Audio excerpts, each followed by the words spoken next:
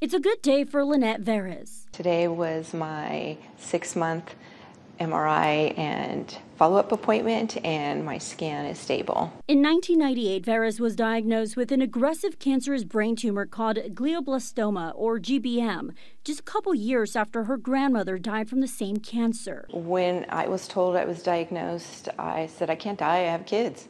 And I was literally, it was just I can't die. I thought I was going to have it taken out and go back to work, and that was not the case. After multiple surgeries and rounds of chemo and radiation therapy, Veras has gone 26 years without a relapse, overcoming the odds stacked against her. The median survival for all these patients, all comers, today is around 16 months, and that's where it was 20, 30 years ago as well. Dr. Nader Sanai is hoping to extend the survival time for GBM patients by a few months with the help of a new drug called niraparib. He says the Ivy Brain Tumor Center at Barrow Neurological Institute in Phoenix is the first in the world with phase three clinical trials on the new drug, and the first patient is from Arizona. It's what's called a targeted therapy.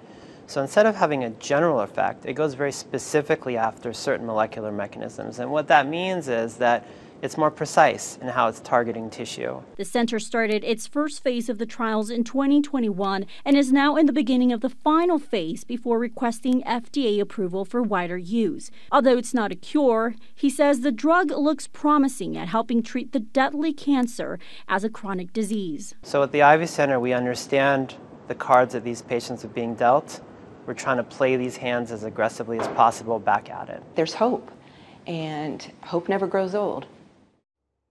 Dr. Sanai says 10 other countries will be starting clinical trials on the drug in a few weeks, and 30 more sites for the clinical trials will be opening in the U.S. very soon. And the final trials at the Ivy Center could wrap up in 2026, and then it will wait for FDA approval if things go well.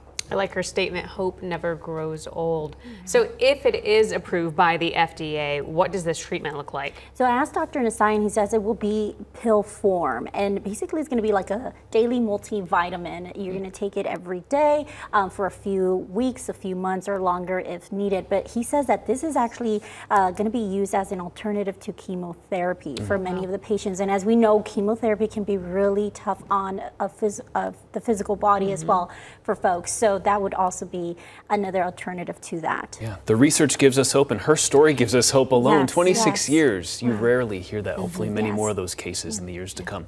Thanks, Casey. Thank you.